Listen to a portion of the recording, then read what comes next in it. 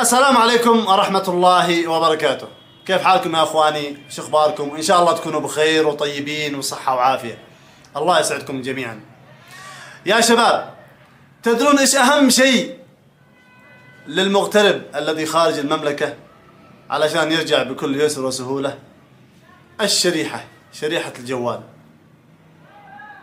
شريحة الجوال يا شباب حافظوا عليها حافظ على شريحة الجوال قدر المستطاع. إذا سافرت إلى بلادك إلى بيتك خذ الشريحة وحطها في مكان آمن أو خليها في جوال قديم ومستخدم معك في البيت وحطها فيه. عشان ما تتلف علشان ما تضيع عليك بعدين تبلش. والله تبلش. كثير من الشباب يراسلوني. والله العظيم. رسائلهم موجودة في الماسنجر. ما يقدر يدخل. كيف بيفتح توكلنا؟ علشان يدخل. ما يسمحوا له يدخل من المنفذ إلا بتوكلنا. كيف بيدخل؟ ما يقدر يعتمد اللقاحات حقت الجرعات إلا بالرموز اللي بتجي على الشريحة. كيف بيسوي؟ ما يقدر يسوي اعتماد لبوابة مقيم إلا بالرسائل اللي تجي على الجوال. لأن أكثر شعبنا ما عندهم إيميلات ولا يعتمدوا على الإيميلات. ما غير ياخذ له جوال ويتفرج في اليوتيوب والفيسبوك والواتساب. إلا من رحم الله. إذا لا تهمل أخي المغترب لا تهمل شريحة جوالك. نصيحة مني لك.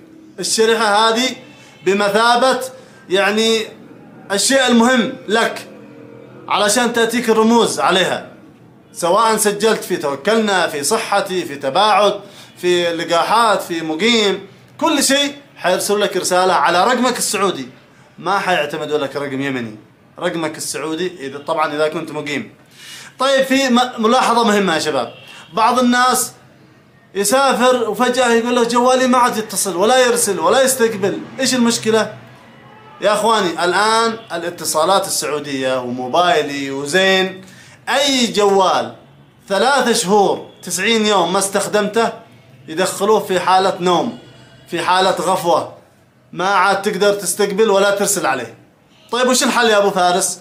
الحل إنك تراسل أحد زملائك في المملكة وتقول له عبي لي كرت ب 50 ريال.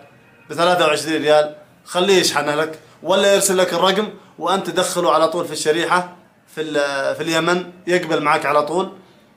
وإذا نشطت الشريحة حاول إنك تجري اتصال اتصالين ترسل رسالة رسالتين من الرصيد. وبهذا يعطيك 90 يوم ثانية من آخر استخدام. فهمت؟ يعني اليوم ما استخدمت الجوال اليوم 17 8 ولا 18 8 ما استخدمت الجوال. معاك 90 يوم علشان يدخل في حالة غفوة وعدم اشتغال. فنصيحة يا إخواني من باب النصيحة لكم جميعا حافظ على شريحتك وحافظ على جوالك يكون نشيط. حاول تستخدمه ترسل تتصل حتى لو رنه. تتصل رنه علشان إيش؟ يبقى معك شغال ويستقبل الرسائل والرموز. تحياتي لكم جميعا. والسلام عليكم ورحمة الله وبركاته.